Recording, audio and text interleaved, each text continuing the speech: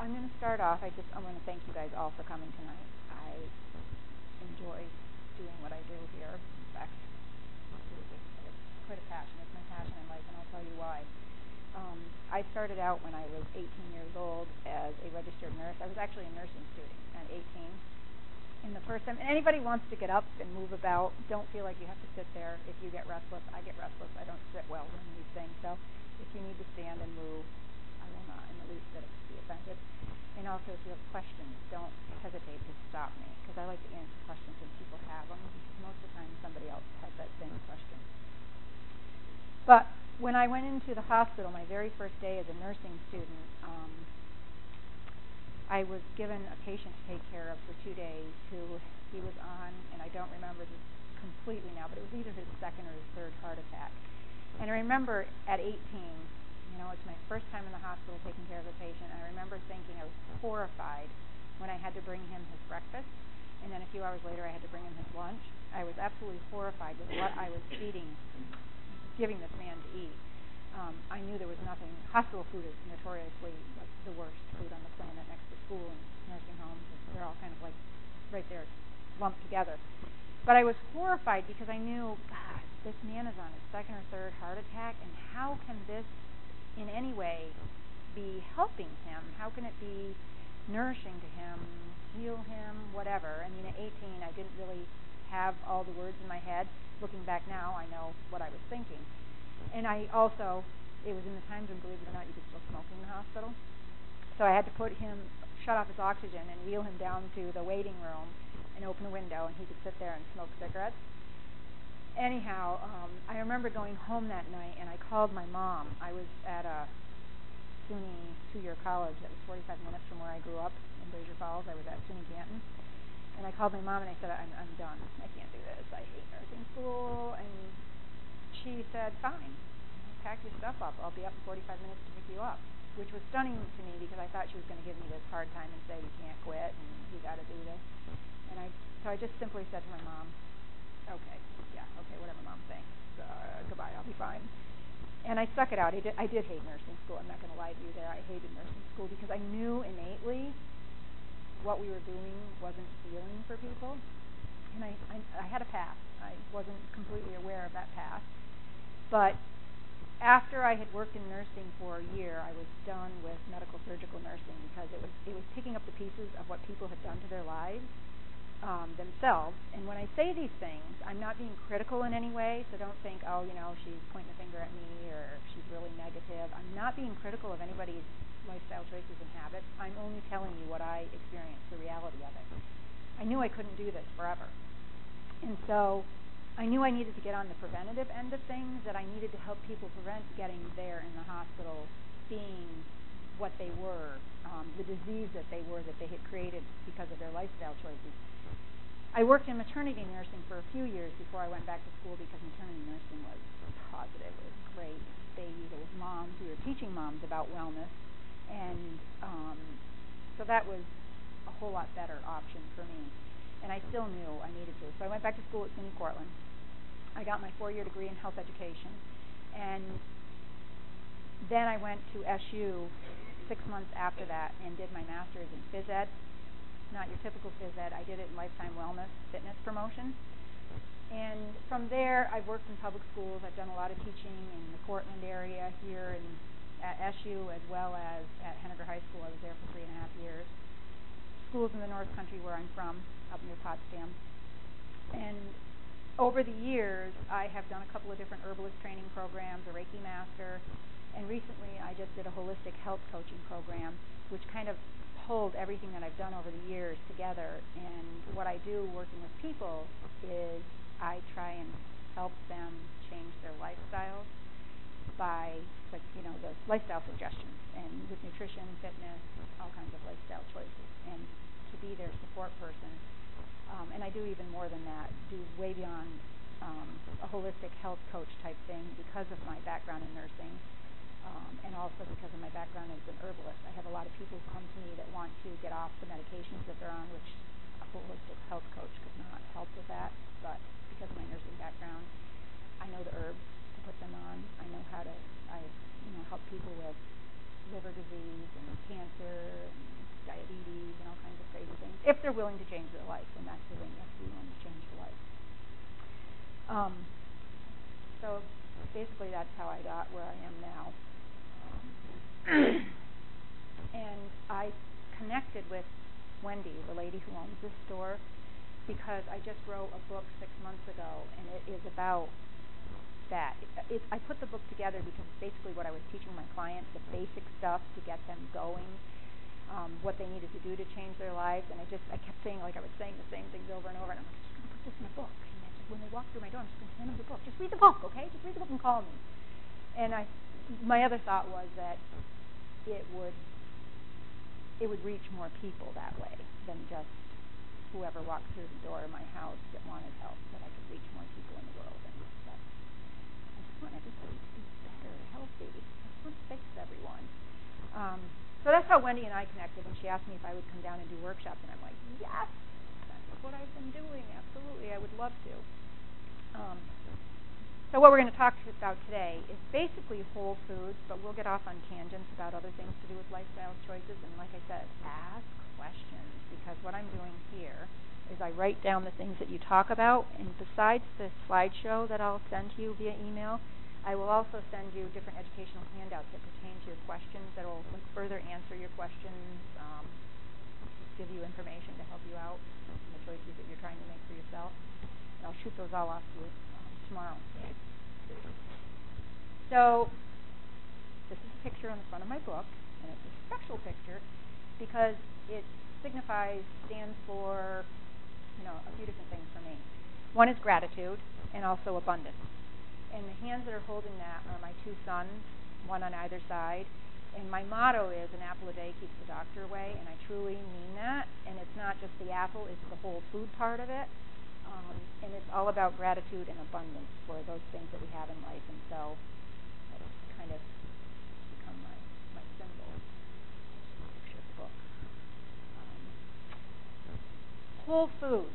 When I say the word whole foods, and I expect participation here, I'm going to ask questions. You will have a quiz, and if you want to leave this room tonight, you have to answer my questions. Um, when I say whole food to you, somebody tell me what I mean by that. Everybody tell me. All of it. All of it. Seeds in an apple, the whole thing. Fruits and vegetables, grains, non-processed. Although non-processed processed kind of extend that out a little bit. What you mean by that? Okay. Organic. What's that? Organic. Natural. Meaning what? Not modified in any way. And what would you do to modify it? What do we do to foods to modify them? We do. We dump chemicals all over them. If we process them, in order to use grains as flours, you do have to process them. But as long as you don't do something, cooking foods is processing them. So a little bit of processing is okay in certain things that we do, but there's certain things we do when we process it that makes it not okay. That be? Picking your brain. Adding, okay? Adding. Adding things to it that weren't meant to be there, which on the opposite side, that's right, taking things away. And when we, we'll, I'll talk about whole grain flours um, when we get there. Um, but there's so many things that we do to foods that we put things in that weren't meant to be there. We take things out. We create food products out of substances here on this planet that were never meant to be ingested. So that's what we're going to talk about is whole foods and why whole foods are important. I throw this one on here because this is the typical American breakfast. And and truthfully speaking, more people live on this type of thing, coffee and some sort of pastry type thing in the morning, than most other breakfasts. And it's a sad state of affairs, but it is the case. But at the same time, I also say to people, you can do this in a healthy way. You know, you get good organic coffee, um, and you can make donuts out of complete whole food. And I do, on occasion, make them for my kids. I teach baking classes in the hometown where I, in, in the Potsdam area. I teach baking classes on making pies, cakes, cookies, um, any of those types of treat foods, donuts being one, with 100% whole food. And um, So you can do that with donuts. And I, I do make them for my kids on occasion, but it's a lot of work. Fryer, fryer fat splattering all over my stove. um, but you can. Any food can be made whole. This picture here has significance. It is a human body cell. Why would I throw that up here? Absolutely. Everything we eat affects our cells. And you know, it's funny because most people don't think of it that way. And most physicians do not think. Any physicians in here before I start being bad? because I just, as I was on my way down here today, I had a girlfriend call me. And she's an acupuncturist where I live. And she's on the phone, and I answer the phone. She goes, Are you on the road right now? I said, Yes. And she goes, Okay, good luck in Syracuse today. Do you have time to talk? And I said, Yeah. What's up, Shelby? And she said, I just had this patient in here, and I just had to vent about it. I said, Okay, what's up? She's in here. She's got colitis, diverticulitis, and irritable bowel syndrome. And she's telling me when she leaves my office, she's going to Ogdensburg, which is about a half an hour from us. She's going to Ogdensburg so she can get two dozen fried donuts because this guy in Ogdensburg makes the best fried donuts, and her husband eats the two dozen over the course of the weekend. And she said, I am so pissed right now because she comes here every week. She spends 60 bucks on acupuncture, and she's wasting her money because she won't do the dietary things that I tell her she needs to do. And what does she think those greasy, disgusting donuts are going to do in her colon? Deep breath, Shelby. Take a deep breath. I deal with this all the time. I know, I know. And I, I said, just don't push her away because what you are doing with acupuncture is at least helping. It's reducing the inflammation. It's going to make that woman move along in the world a little bit longer than what she would. But this was the thing that she said. I said, can't you just throw in some little dietary advice? Her on my card, something. I don't know. Mail it to her anonymously. No, no, because she said to me, everything I have is genetic, and it doesn't matter. The doctor told me it doesn't matter what you eat. It has nothing to do with that. It's your genetics. Really? It doesn't matter what you eat. Okay, who's the doctor? Because I need to talk to this person first of all. Of course it matters what we eat.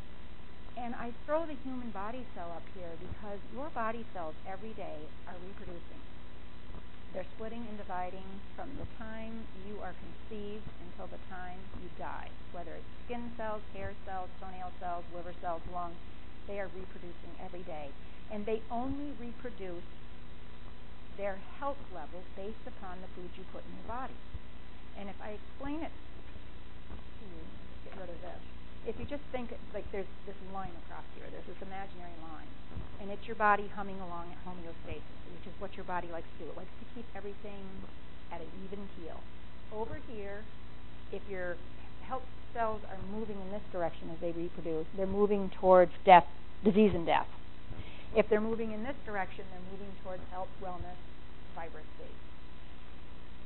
When you put food in your body, if you put whole foods in your body, your cells are always going to replicate at the present health that they're in or healthier.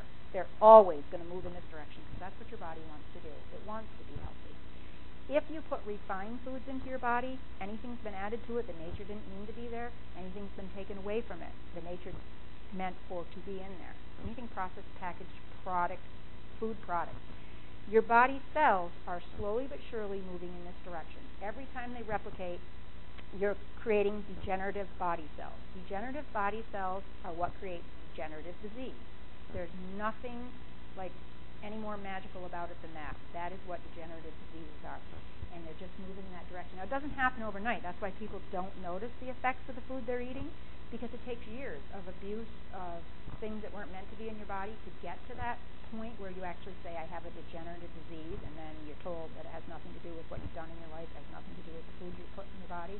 I'm here to tell you differently.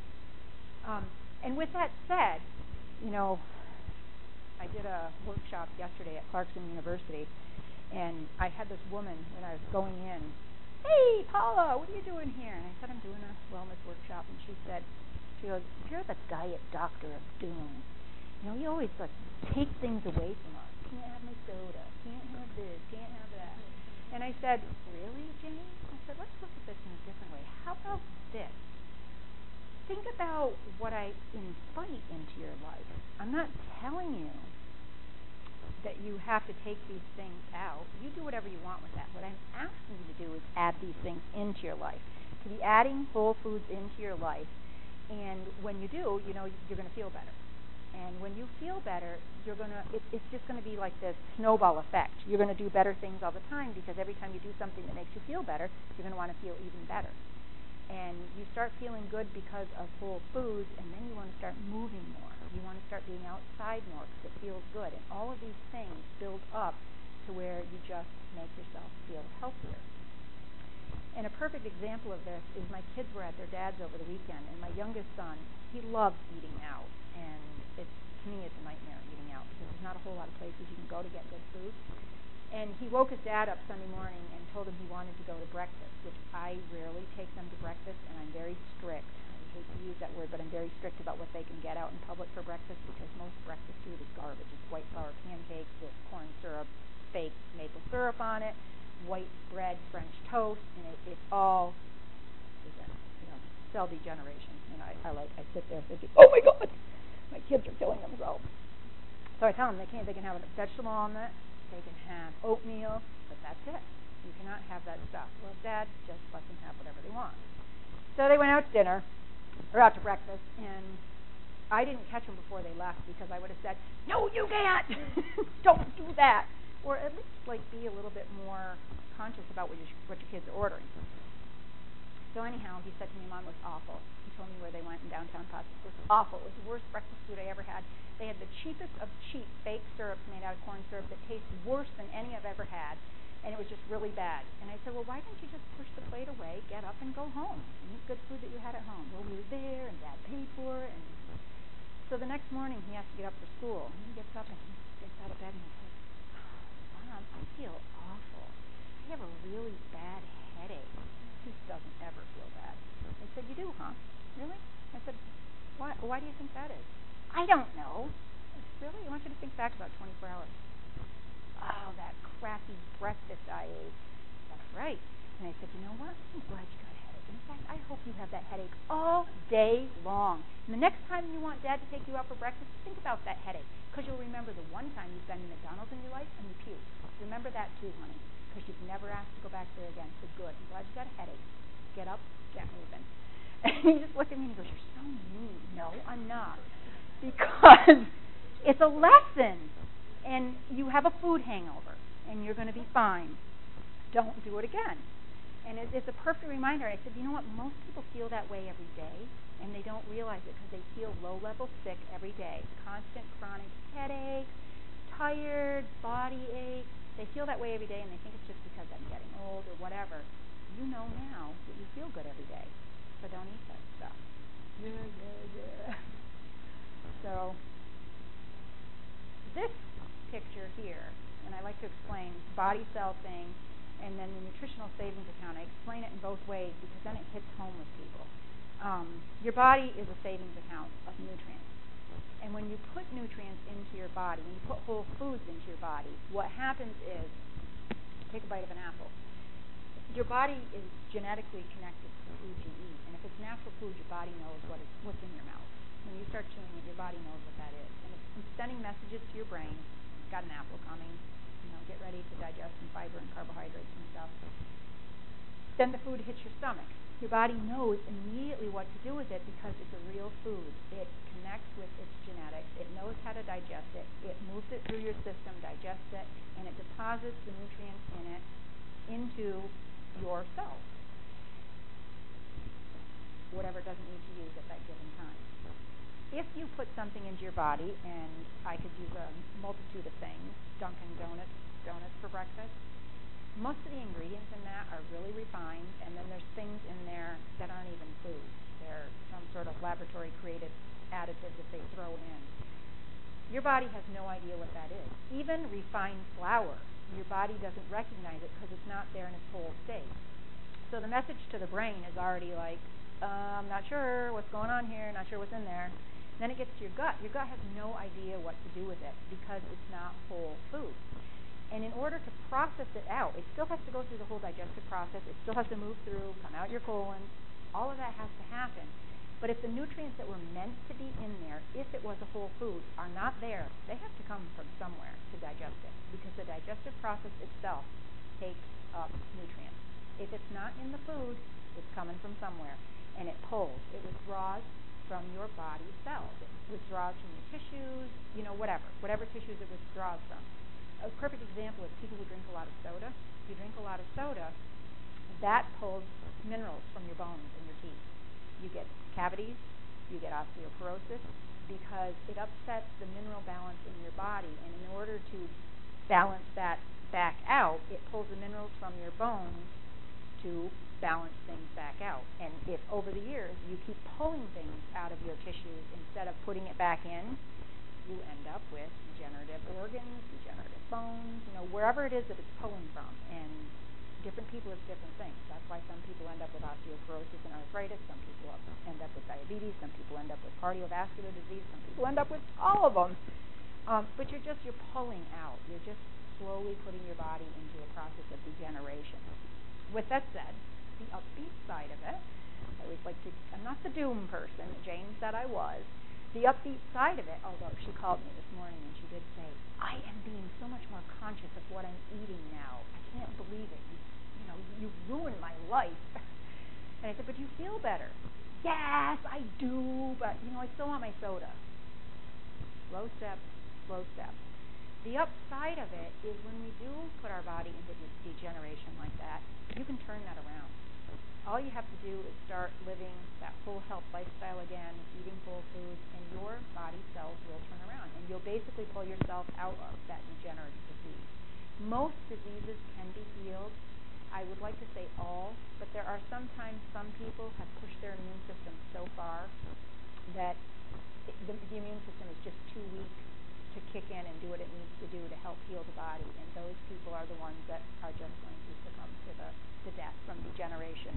Some people who have cancer, you know, they'll survive, others won't. Doing nothing but natural. And it, it, it just depends on how far your body has gone, how far your immune system has gone, whether it, it can do the job to heal. Um, what does it mean to be eating whole foods? And I like to point people in the direction, and I will tell you this, you know, take the information, work it into your life where it works for you, find your own truth, change things as it as it works for you. You don't have to do everything overnight, bang, um, because it's a lot. One of those ladies that was here this um, at noon for the workshop, she just said, "Wow, that's a lot. Wow, that's a lot of stuff going around in my head right now." I said, "Are you overwhelmed?" She said, "Oh no, no, I'm not overwhelmed, but I'm really it's a lot of stuff that I have to think about now, and like how am I going to make these changes in my life?" one slow step at a time. Don't, you know, don't freak yourself out about it. Although I've had some, I mean, I've, I've worked with clients for a year and a half, and it's like I can't believe, oh my God, are you kidding me? A year and a half later, and we're still, we're still stuck in this. And then I've had others. I had one gentleman call me up. This was at the beginning of the summer, and he said to me, um, "I read your book, and it, it, the book is really easy. You could literally read it in just a couple of hours. It's a quick, fun read." um, he said, I read your book and I gave it to my wife. And she stayed up till midnight. He said, you got to come over to my house right now. She stayed up till midnight last night. She read the book and then she tore the kitchen apart. And she's gotten everything out of the cupboard that was, and that's the way I do things. I'm all or nothing. I'm not this one thing at a time, one all or nothing. She's torn the kitchen apart. She's got boxes all over the kitchen floor of all these food products, and I have no idea what to do with them because I know now, and I feel guilty. I don't want to take them to the food bank because if I'm not going to eat them, why do I want to give them to someone else? And I, I, I'm, you know, like I don't know, Rich. I don't know what to tell you. You know, that's your conscience. You got to figure that out yourself. You need to come over here and help because my wife has to go shopping. We have nothing to eat in the house, and we need to help her figure out what she's going to go buy. okay, okay. That is some people function that way. Some people, it's that one little change at a time, one thing a week. Um, we'll go through all these the local, seasonal, organically grown, naturally raised, home cooked. What is that? You know, what are all these things? What does it mean? The local thing, um, how local is local? You know, northeast region is local. Tropical fruit, it's not local. Um, with that said, I'm not going to tell you never eat a banana again seasonal because it's in sync with nature, and we'll talk about that. The organic and the peelings, all of that we will cover. Those are just questions for you to have kind of in your mind. Um, the seasonal thing. If you think about how you feel in the spring, usually we're all, you know, the winter's over. We've got all this energy. Um, we want to get outside. Our energy is very upward moving. This is traditional Chinese medicine, and actually Ayurvedic Indian medicine would say this as well. Very upward moving energy in the spring. Everything is in the spring. Plants are. If you think about how plants grow in the spring, everything is just crazy growing fast. And that's the way our energy is. And when we eat the food that's growing in that season, it nourishes our body because the energy is the same. I put these pictures up here because if any of you have grown asparagus in the backyard, you can look at it one afternoon and then go back out the next morning and it's grown a foot. That is fast moving energy. And that's what we need to be nourishing our body with at that time of year. In the summertime, you know, summertime's a good time. It's warm, it's hot a lot, and it can be dry. And the foods that we are given to eat in the summertime are those really fleshy, juicy things that are perfect for what we need in the summertime. It feeds our body with the right energy, the right um, moisture for that time of year. And like I've had clients who say to me, you know, it's the middle of winter. I can't understand why I'm not losing weight. That's all I eat is salads. Bingo. You're not meant to be eating salads, green salads in the middle of the winter. Sure, it's healthy in the summer, but in the middle of the winter, you're eating very cooling, moist foods that cool your body down, that cools your um, metabolic rate down. It's cooling you down. And so when you cool yourself down like that, you're not doing what your body needs in the winter. Your body needs to be warmed in the winter. And you're not going to lose weight. Do you have greens growing in your backyard in the middle of the winter? I don't think so. Why are you eating them that have come from California or Florida? Eat foods that are going to feed the energy of the season, and your body will respond with balanced weight, balanced um, health. Fall and winter veggies are very, the energy turns inward again. Root vegetables, squash, um, cabbages, they're all inward focused energy. And that's what we do in the winter time, fall and winter. You know, we all kind of come back into ourselves. We're not as expansive anymore. We're in, you know, introverted. We spend more time indoors. We need warming, inward energy foods, and that's what these foods are. Um, yeah.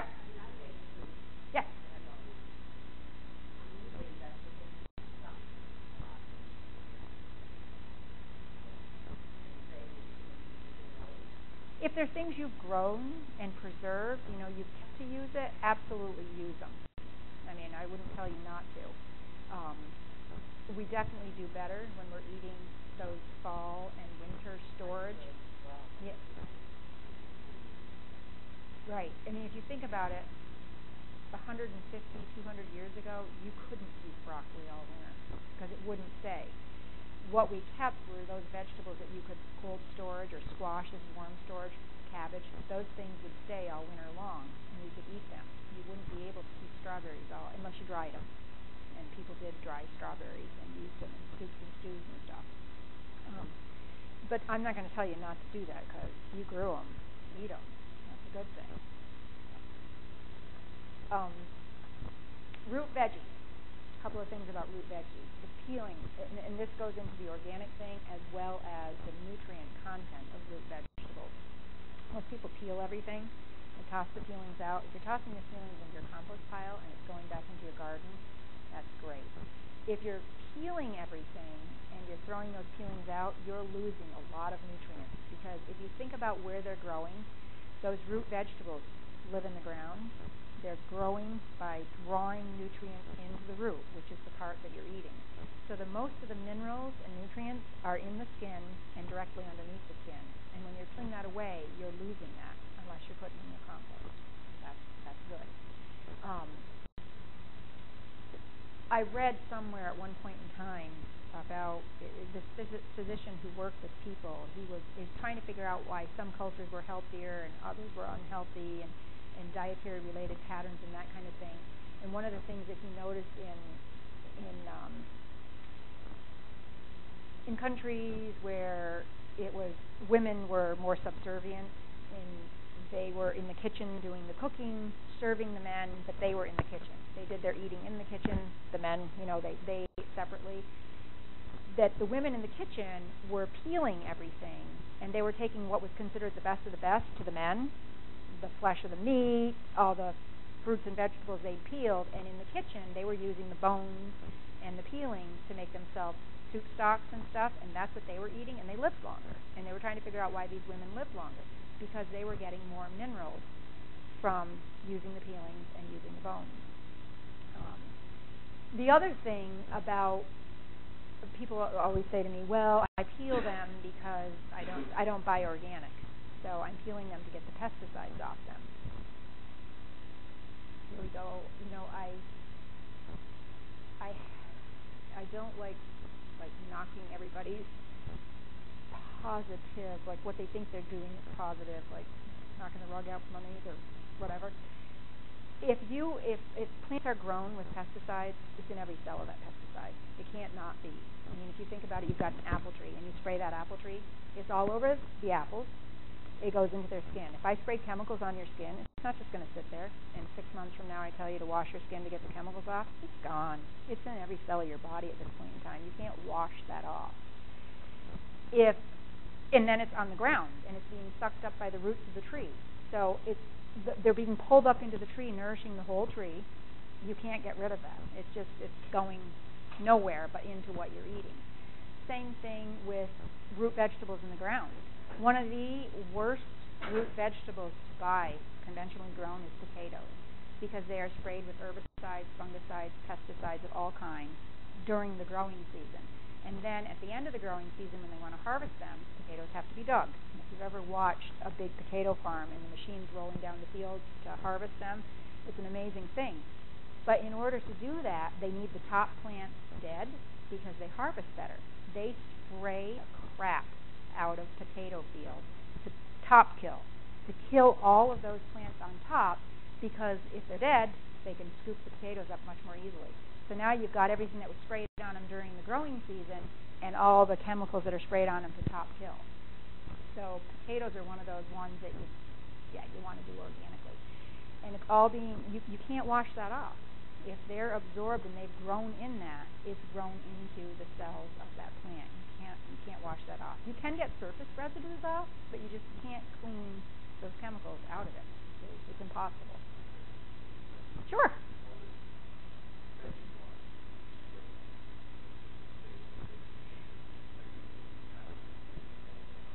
Mm-mm. No, I mean surface residues it will. But see, people want to feel good. They want to feel safe about their food. Oh, you don't want chemicals on your food? Well, here, we'll create a product that washes it off. But nobody tells you you can't wash it off every cell. I mean, you just can't. I mean, think about human beings. We have a lot of topical medications that affect us um, systemically. If you put cardiac medication on your skin, female hormones, I mean, there's a multitude that you put on your skin how is that going? If it can't get through your skin, it's not going to work systemically. It does. Anything that has a skin, skin is, the skin is permeable. It goes in. That's just how it works. So to say you can wash it off, that's nice, and it makes people feel good, but it's it's not happening. Whenever there is a need in our culture, manufacturers love to rise to the occasion and create the product to solve the problem because it's a moneymaker. I mean, I there's I could go into a million of them. That was the workshop I did yesterday at Clarkson, was in that food fashion and all the things that we do, like Greek yogurt, um, gluten-free products, and the list goes on and on. And when there is a need in our culture, it the world abounds right now with gluten-free products. 95% of them are absolute garbage. I wouldn't eat them. They're just full of filler crap.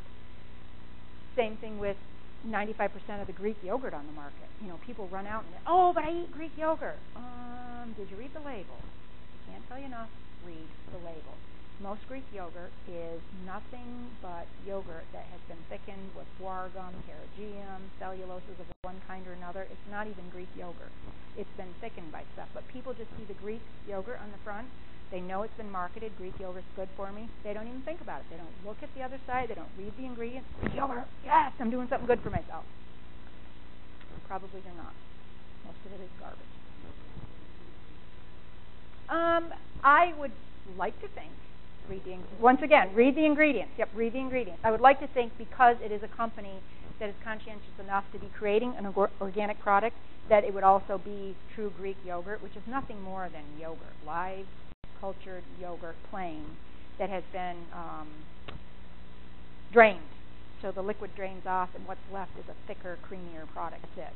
And if they've done anything more to it, if they've added anything more to that, if it's more than cultured milk, it's not Greek yogurt. It's a manufacturing product to make somebody billions of dollars because yogurt is the craze right now. I, I, everybody falls for these things. It's like vitamin water. Are you kidding me? They slap a name like that on a product, and every, oh, it's good for me. It's vitamin water. Really? Does anybody think beyond advertisements? You read the labels. You see what you're putting in your body. Don't buy into those fads and fashion. If it says something on the front that's like a grabber, an attention grabber, flip it over. Read the ingredients. Because more than likely, it's not going to be something that's going to be nourishing to your body. One thing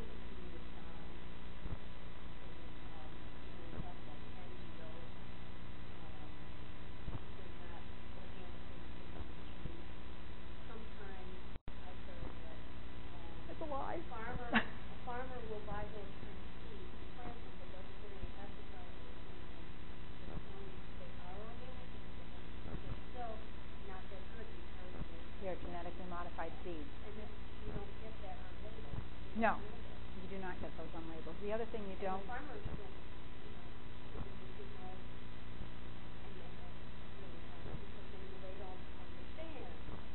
Or they don't care. They care. I mean, people care. People genuinely care. We live in a world where people genuinely care, but they do what's best for their bottom line. Perfect example is farmers who say they raise their animals organically. There's a lot of people out there who say they do raise animals organically who are feeding them non-organic grains. And I can think of many people in the North Country where I live who, you know, throw themselves out there feeding their animals organic grain. But organic grain costs two to three times as much easily.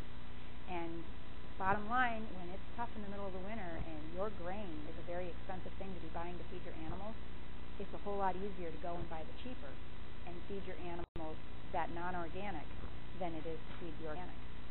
So mean, people do it all the time. In fact, I, I'm friends with dairy farmers, and I, I've been after him for years. I've known them since my kids were born because we were all in playgroup together. Why do you have these dairy farms, all the factory farm dairy farms all over North, the North Country? That you're not organic. I mean, you're spraying all kinds of pesticides, and you're not raising your animals well, and you're injecting them with steroids and antibiotics, and the list goes on and on. And he said to me, "Are you kidding me, Paula? Most organic farming is a joke. That those farmers are doing everything that I do.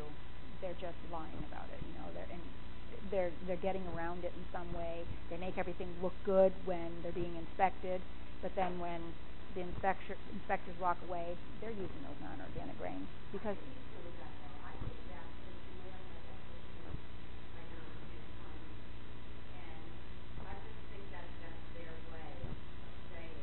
I don't want to bother doing that. I don't. I, I I do in some regards because there are people who have that, and there are other people who do value what they're doing, and they are true to what they say. And you just have to know. Like I know my farmers. I go to the farm. I want to know what they're doing, and I I don't just want to see what they're doing and see what they have in their barns. I want to have a conversation with them, and I want to because you can hear it if you ask the right questions without directly asking, "Hey, what do you use for chemicals?" Because they're going to say no, you know. But if you ask the right questions, what will unfold is the story of their philosophy of farming. And then you know who's a good farmer. One of the farm families that I buy a lot of my produce from, they're not organic certified. But if you ever have a conversation with these people, organic certification is great, but there's people out there who grow far better than organically. And they don't bother with the organic certification because it's a yearly process, it's expensive, and it's a lot of paperwork. This family is beyond organic certification, you know, ten times over, and I trust them. I've had the conversations with them. I know where their dedication lies, and so I feel good in, in buying lots of things from them, all kinds of produce. Um, I just kind of get in a conversation with them to begin with, and you know, asking them about their growing practices without bringing up the chemical thing, and they'll start talking to you, and you can tell by things that they say where their where their knowledge is. And some people will come right out and say, "Oh yeah, I use Roundup," and then you're just like, "Please take that away from that farm stand. we won't be buying from you." Um, and most people, like, here's a perfect example of this one farm stand I stopped at. Um, and I asked him about if they what their growing practice were, and he said, oh. "Oh, I don't put any chemicals on my produce. Totally against that." Then his grandson's standing there, and he's saying, "Well, Grandpa, you use Roundup in the rows, but it, I don't let it touch the plant." Are you kidding me? Where do you think the plant's getting their nourishment out of the soil? You're you're putting Roundup on the soil. It's in the plant. Okay, all right, Grandpa, some education's needed here. You know, and he honestly thought what he was doing was a good thing. He's keeping the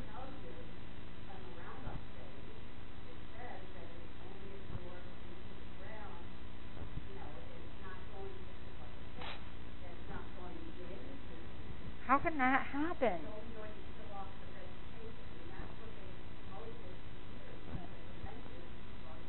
Right, and that's exactly what you know the farmer is thinking. Right, he's doing a good thing because he doesn't have to break his neck weeding those rows. And I get that. Gardening is hard work, very hard work. What about? Uh, no, go ahead. We'll get you both. Um,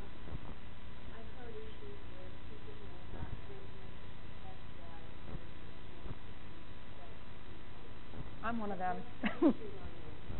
well, once milk has been heated it, to be pasteurize it, it doesn't just kill off any sort of so-called pathogenic organism, but it also kills off lots of good organisms. It also kills off the enzymes and stuff. And I buy raw milk from a local farmer. In in New York State, they do have to be um, certified to sell raw milk from their farm, and they're watched closely by the county and state health department. There is no I buy goat milk, and there is no cer- certification or regulation for goat farmers. I just go to the farm. I bring my jars and I leave. And if anybody ever asks me, I'm just getting milk for my cats and dogs. You know, I would never blow my farmer in because he's been taking good care of me for 10 years now with all kinds of stuff. But and it's it's again it's quizzing the farmer about how they do things and looking at his farm. I mean, I would sleep in his farm, installed with his goats. hard to find It is. It is. It's hard. Well, it's actually it's not hard to find. I chanced to find upon this man just literally by chance. It's not hard to find him. You just have to start asking questions of farmers when other people aren't around, because the farmer will tell you, "Oh yeah, I got milk and I'll sell it to you raw," but you can't tell anyone. And if they ask, you're getting it for free, you're donating money to the farm, you bought a share. Because if you buy a share of the farm, the farm's yours. You can eat anything off that farm, raw or otherwise, because you own part of the farm. If they're raw certified to sell raw, you have to be certified to sell raw. But I chanced upon this man because I was looking for an organic dairy farm. Was in the process. I, they were revitalizing this barn, and I knew it was going to be an organic dairy farm. And I stopped to ask the farmer, will I be able to buy raw milk from you? Because my kids have a real hard time with milk. And the guy was out there, he was working and stuff, and he goes, I don't know, they are going to be organic. I have no idea. He said, I'm a farmer from down the road. I'm just here trying to help these farmers get get up and running. He said, I've got goats that way. Great, because I don't want cow's milk. That's exactly what I want. Can I come to your farm? And he looked at me and he goes, You want goat's milk? Yes, I do. Ten years later, I'm still buying from. Eggs, meat, produce. He's a good farmer.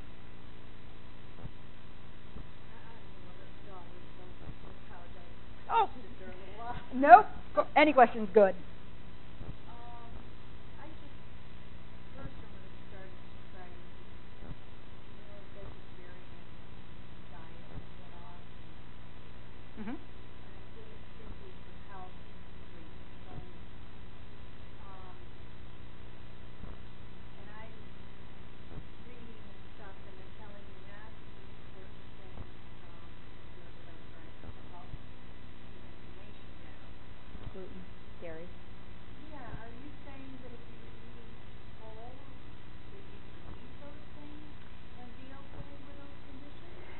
might be okay with goat's milk.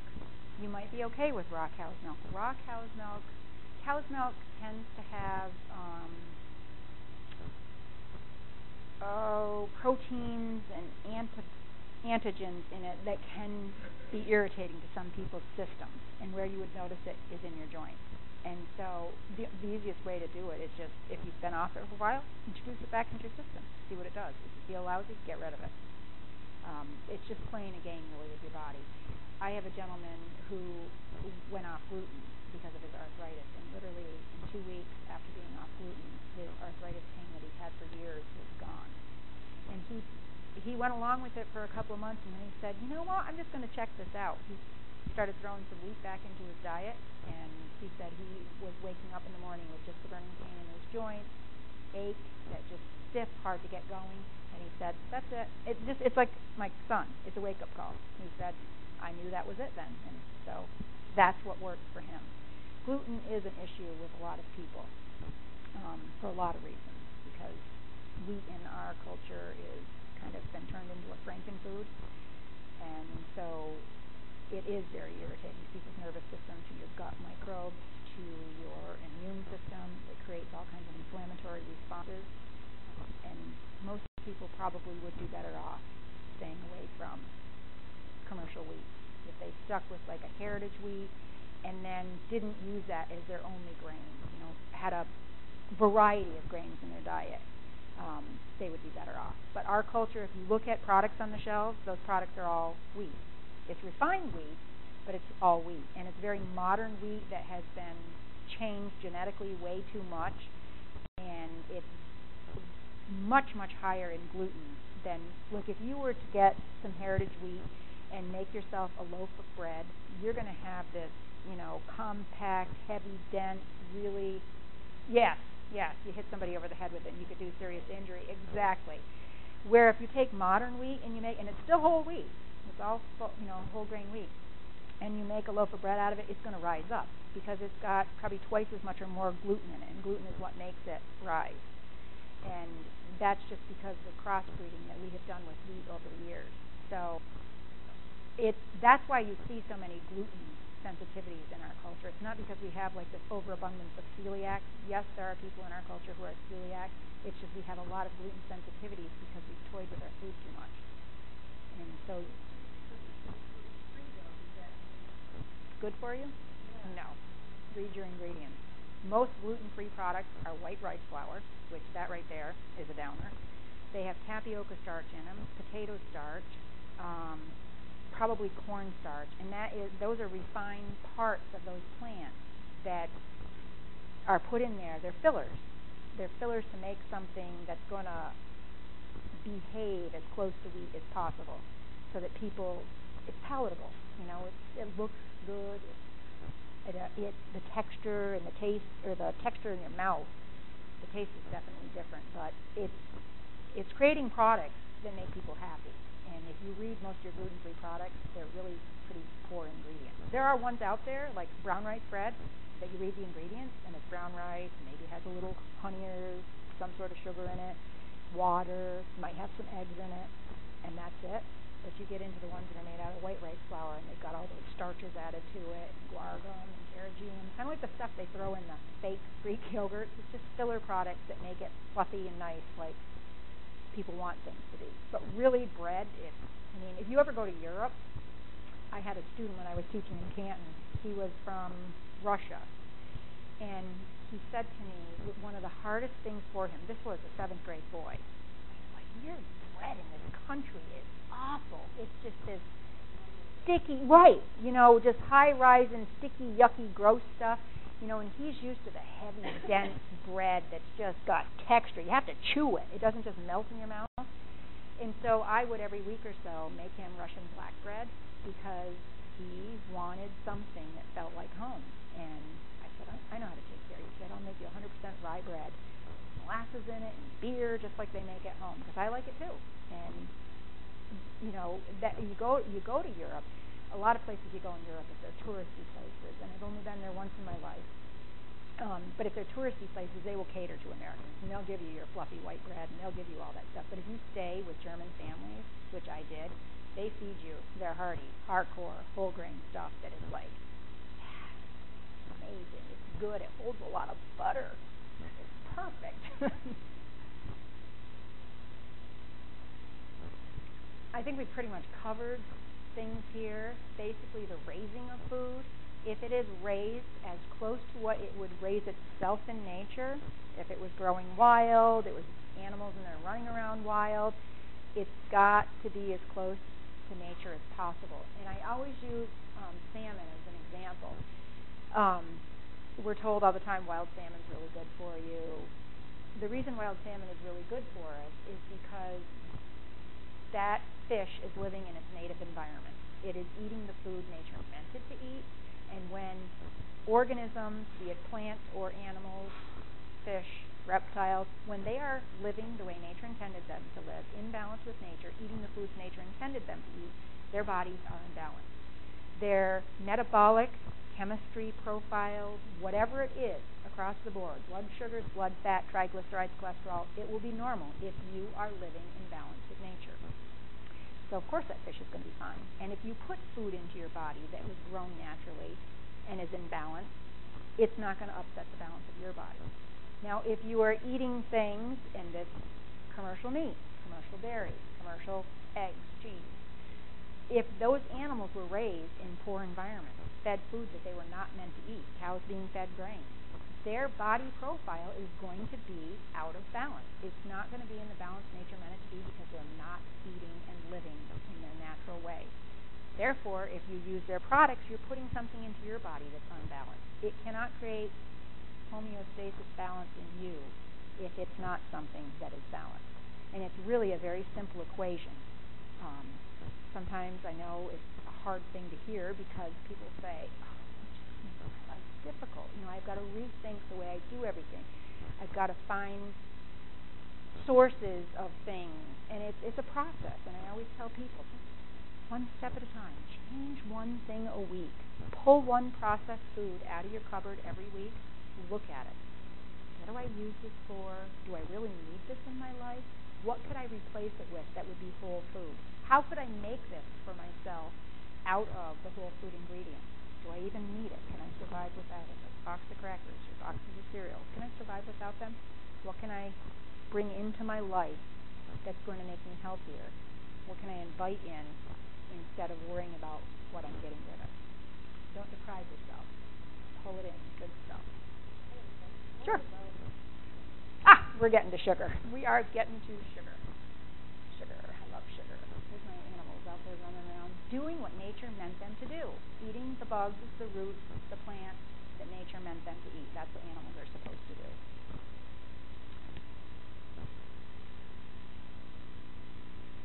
Okay, just want to keep track on time. Um, this is a whole grain. This is basically the shape of a whole wheat. Um, brown rice, rye, oats. Um, there's a lot of grains that are shaped in this elongated oval-like shape. Some are not. Some are round like millet, um, quinoa, amaranth, teff. Buckwheat is cute little, almost heart-shaped things. But their basic anatomy is the same. On the outside of grains is the bran. That's where the fiber is. There's a lot of mineral-type nutrients in that. Um, and then this is the germ here. This is the part of the plant that if you throw the seeds in the ground, once the moisture gets through the bran, the germ is what sprouts and creates a whole new plant. The endosperm is what is left when we refine things to make flour. We strip the bran off, we strip the germ out, and then we take this endosperm and we grind it up and we have refined flour. And if it's all purpose, cake, enriched, bleached, unbleached, any of those names for flours are all refined flours. The bran is gone, the germ is gone. We've got the endosperm left, which is basically carbohydrates and gluten. And that's where we get a lot of our issues with gluten is because we're taking the whole apart. We're not eating the whole. Um, you don't want to do that. You want to eat the whole. You can buy wheat germ, absolutely. And that's, again, they pull this apart. They throw the bran, wheat bran, they do it to oat as well. They throw that into a jar and sell it to you in a health food store because it's good fiber, and they make a lot of money selling bran. They make a lot of money selling germ. Just leave it all together and eat it as a whole. And then you're getting all the nutrients laid out the way nature meant them to be laid out, and it's all good there. Um, but that's what they do to most um, grains, particularly wheat in our culture. When you're buying products that are made out of grain, it should say 100% whole grain. Whatever the grains are in it, it should say 100%. If it says on the label whole grain, it could have a teaspoon of whole grain in the whole batch of bread. So it's got to say 100% whole grain. Flip it over. Read your ingredients. Make sure the ingredients are good. Sugar. Brown sugar, white sugar, same thing. The very same thing. People like to think that when they use brown sugar, they're doing something healthy. Or if they see brown sugar on the label of ingredients, like in granolas and cereals, oh, it's got brown sugar in it. That's so much better. Okay, this has got to be a better product. Brown sugar is white sugar. They just mill it a little differently. It's a little thicker than the crystallized white sugar, and they put caramel coloring in it. They artificially color it. They throw in some other stuff. What's that? It does not. It does not. It used to. Real brown sugar does have molasses in it. The stuff you buy in the grocery store shelf, they've sucked the molasses out because they sell it to you in bottles called molasses, and you pay a higher price for that, and then they give you white sugar that's caramel colored. And people think it's brown sugar, and it's better for me, but it's not. Real brown sugar is sucanat, Rapadura. If it says on the label, read what it says about the product. What it should say is that it's dehydrated cane juice. That means they press the cane juice out of the cane, sugar cane, and they just dehydrate it. Nothing has been taken out of it, nothing has been added into it.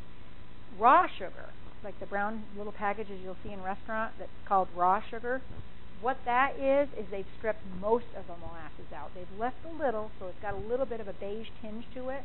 It's a step up from white sugar, but it is still basically refined sugar. They've taken most of the molasses out. If the molasses are still intact in it, you have this really, it's like whole grain flour. You have this really hearty sugar. And when you start using it, you will notice it. Like if you made um, cookies that are like pastry dough, what do you call them? I'm blanking. Like little tea biscuit type cookies that are just vanilla or you made a vanilla cake. Most people, their idea of vanilla cake is this white looking cake. You use a sucanat sugar in it, and your cake is going to be a pale brown color. And then you're using whole grain flour on top of it. You are going to have this vanilla cake that looks brown. Um, and it tastes different because you will have the molasses taste in it. You, you can't get past that, but you get used to it. And then when you eat something that's made out of white flour and white sugar, like you go to Wegmans and you buy one of their grocery store cakes that has the Crisco frosting on top, you'll gag. You will absolutely gag. I won't waste my calories and my health eating something like that because I know how good things can taste. And that's like they creep me out. And when my kids get invited to birthday parties, and I know moms are going to a bakery and buying one of those sheet cakes, I'm like, oh God, please don't eat it when you go, guys. Please, just don't even take a bite. Walk away. Don't eat that. Mom, all our friends are eating it. Okay, please just have a small piece. Please, you know, just think about what you're doing to your health. Which at 11 and 14 now, they really they care, but they don't care. What about things like Stevia. If you're using stevia herb and it's green, it's like you're buying flakes of parsley. That is a whole product. It's very sweet. If you ever try to bake with that stevia herb, you have to use tiny amounts of it, so the texture of your product is going to be different. Because, like, if, if a cake calls for two cups of sugar, I always tell people immediately cut it to one cup. Immediately cut the sugar in half, and then work your way down from there. But to get that kind of sweetness, you might need like a half a teaspoon to a teaspoon of stevia. That's like this whole volume of sugar that's missing from the product, and it's gross. I've tried baking with stevia; it's just gross. If it's great for sweetened teas, um, other liquidy things, like if you wanted to put it into pasta sauce, just sprinkles of it, because some people like to put sugar in pasta sauce, just tiny sprinkles of it, because it's very strong. If you're using the stevia white powder or the clear liquid, it's totally refined. And I tell people to walk away. Don't bother with that. Very refined. Agave, not local.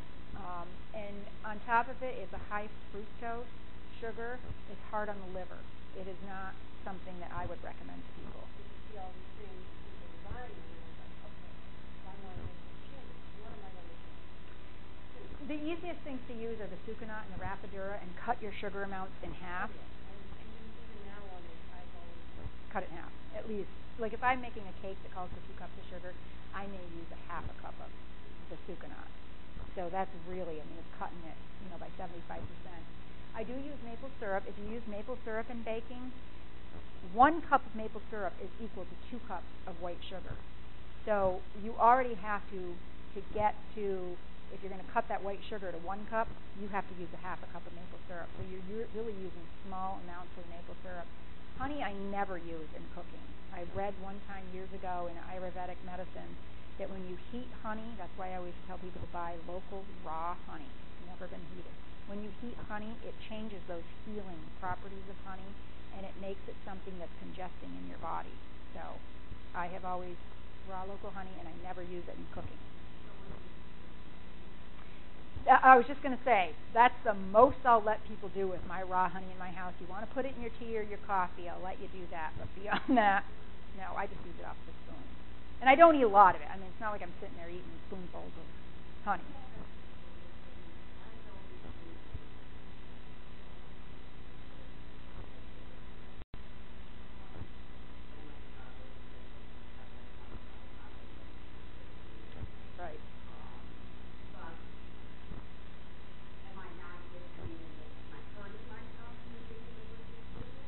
Probably not hurting yourself. It's just refined. Right. It's just a refined thing. So if you're using the stevia leaves, the green stuff, you're going to get the nutrients that are in that. When you're using that clear liquid, you're just not getting the nutrients. And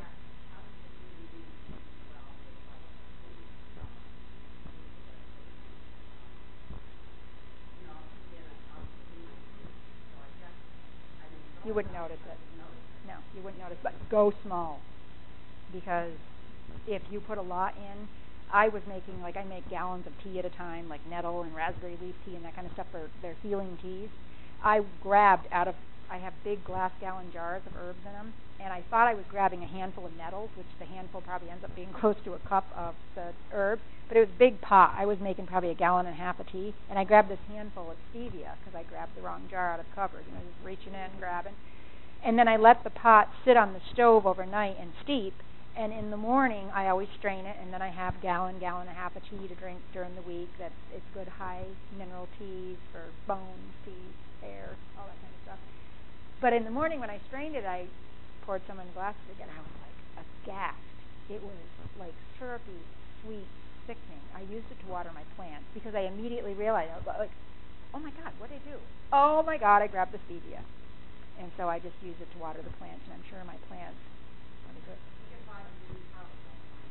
You can buy the green powder, yes. But if, and I'm not even sure, that's one thing I didn't notice out here, if they have a section that's bulk herbs, and I'm sure they probably do, where you can buy all kinds of um, medicinal herbs as well as cooking herbs, they probably have stevia in one of those jars, and you can buy like just a little ounce baggie of it. No, you don't need much. Pinch it. Pinch it. Don't overdo it. Cleaning out the kitchen. Like I said before, one product at a time. Find something to replace it Evaluate if you really need it in your house. All the things to clean out, and it's basically what we've been talking about. Um, this one right here, and I remember this as a kid, you know, it was breakfast cereal because it's enriched and fortified with 11 essential minerals and blah, blah, blah. We always thought that was a good thing. Well, if they're enriching and fortifying a product, that product had nothing of nutritional value to begin with, nothing to put on the label. So now we're dumping the synthetic vitamins and minerals in it, so it looks like, wow, you know, what a nutritional powerhouse. If it says enriched and fortified, you know what it was in there originally is just garbage, and don't buy it. All the things to look for, and this is certainly not an all-inclusive list, but hydrogenated, partially hydrogenated oils, corn syrups, high fructose corn syrup, and artificial colors and flavors and one that stumps people is a lot of times vanillin, which is a synthetically, petrochemically produced fake vanilla. It's used in a lot of products because it's a lot cheaper. Vanilla is an expensive product that only comes from two small places in the world. Um, and people trip up on that because your eye catches it and you don't notice that it's not vanilla. That is, it's just a nasty, nasty preservatives, fructose, glucose, maltose, dextrose, any of those oses, that's sugar that's added to your product. And oftentimes, highly sweet products will have a lot of different forms of sugar in it because if it just said sugar as the second ingredient, people get scared because they like they know that's like the second most, you know, abundant ingredient. And so if it's just peppered throughout it, all these different oses, you don't realize that really this product is mostly sugar. Oses are sugar. Where do you find good food? Good stores, your backyard growing it, farmers markets, CSAs, which is a community supported agriculture. You buy a share of the farm, the farm gives you food every week. Um, it's a great way to go. Some of these things up here are local for the Potsdam area, like Garden Share is a local organization we have that keeps a local food guide and I'm sure there's one here in this area, local food guide of who all the farmers are in the area and what they produce, and you can just whip through the pages and you can find out who's producing all kinds of produce, meats, dairy products, organic wines. It's all all in the book. Um, and again, those farm stands down the road don't like don't not stop. Check it out because you could have somebody right down the road from you that's growing wonderful food. Just ask them how they grow it. They're using Roundup don't buy from them.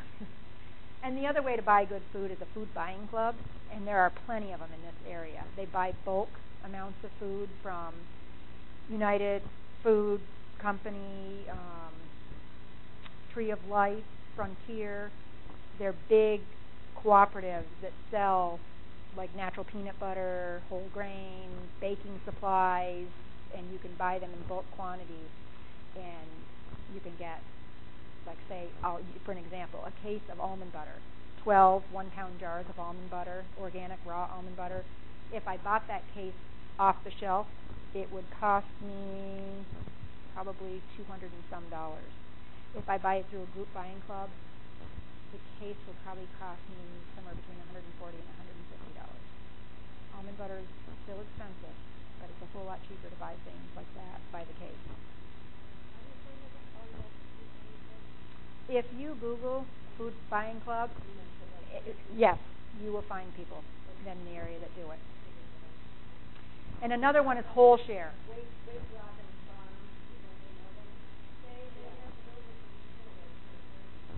Oh, they don't.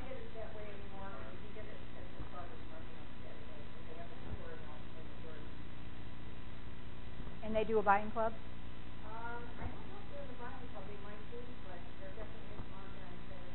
The other thing to look up is Whole Share. Whole Share is a community-based group buying club that you can order online, and somebody in the area is like the drop-off point that the stuff is dropped off there, and then you have to pick it up on the day that it's delivered. That's Whole Share. Make food and art. Play with your food. Try new things. If it turns out yucky, eat it. Be grateful. Have gratitude for it.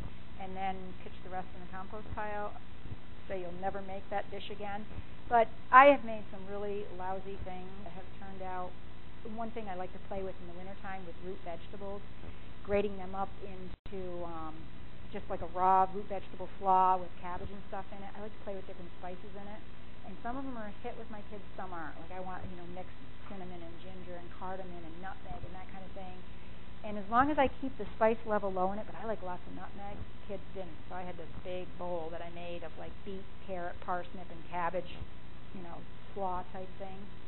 I ended up eating it all myself.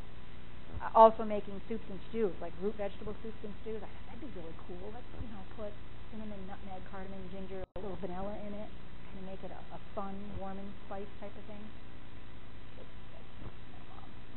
that's what you put in muffins. You don't put it in root vegetable stew. So I ate that.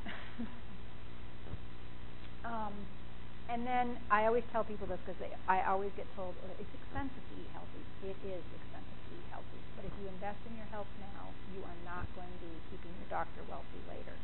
And that's that's where you want to go. An ounce prevention is definitely worth that pound of cure. And then my last thing I always tell you is to be grateful for everything that you have because there are times in life where you're not going to have the best choices available to you because you're not at home, you're at a friend's house, family member who loves you right to death and everything they made for you, even though it's not the greatest whole foods, they made it out of love, eat it. You're not going to die. your daily diet is going to be better, and it'll pull your cells right back to health tomorrow when you go back to your whole foods. Or you're traveling. Traveling, I find, is hard because the food generally is lousy. If I know I'm going somewhere like particularly urban area where you know there's going to be good organic restaurants that have local food, I will Google that area before I go there because I am not going to go there blind, not knowing what's available. I want to know where I can go and get good food, and I'll get the Google map and everything, and I will like contact them and ask them what they cook and how they cook it. I want to know that I'm, you know, I'm just that okay, good. I can go there and I can get good food. Like in a couple of weeks, I'm going to Montreal to see the Eagles in concert, and I've wanted to do this all my life. I know, Amy. I am so excited. You know, and I'm disgusted that I paid $215 for the ticket because I think that's outrageous. But I cannot wait to see the Eagles. And I'm like, okay, I am not going up there unless I am in a restaurant in Montreal that's going to serve me good food. And I want to know when I can go for dinner, we're spending the night. I want to know where I can go for breakfast. And until I have that down, I'm not pulling out of the driveway. I got it set. I even went on TripAdvisor and I asked people about restaurants that I found in the Montreal area. Okay, I'm good. I can get good food there. I can go see the Eagles now. and one of the comments I got from somebody was, "Well, they don't have very good beer at this restaurant, though." I'm okay. I'm good with that. I just want good food. But always be grateful because if you're sitting there eating those things at families that is not so great food and you're just thinking, oh my God, I'm killing myself, that thought process is far worse than the food you're putting in your body. Go at it with gusto, with gratitude, and return that love to the person who made it for you. And I have uh, like clients will bring me things they don't bring me the greatest things. You know, they'll bring they bake bread. It's white flour bread. I have a neighbor who God bless this man. I love him right to death. He picks wild berries for me all summer. He picks wild grapes in the fall. But he was a baker by trade, and he brings me the most disgusting white flour rolls. I still have some that he brought me for Christmas last year in the freezer, and I can't throw them out because such a sweet old man. And yet my kids are like, when are you going to throw those in the compost? I can't because I don't even want that refined food in my compost. It's going to screw up the microorganisms that are breaking down my compost. I'll feed them to Grandpa. That's all he eats is white flour anyhow. We'll just take him to Grandpa. You know, I can't change him now, so. But like, I just can't do that because I know they were made with complete love. So, someone will eat them. Gratitude, always good gratitude questions? Questions, thoughts?